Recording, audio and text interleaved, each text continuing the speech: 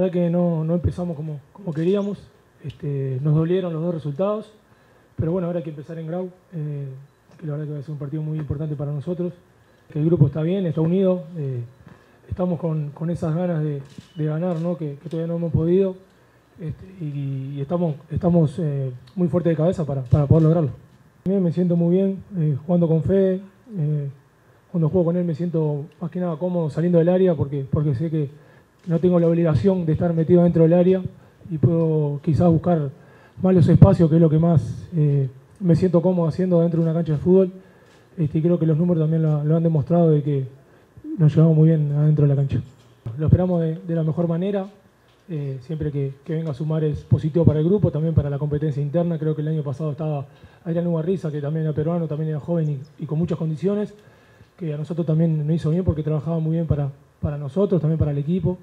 Este, quizás fue el que le tocó jugar menos, pero, pero como compañero siempre sumó y creo que, que si viene a, a sumar va a ser muy importante para nosotros.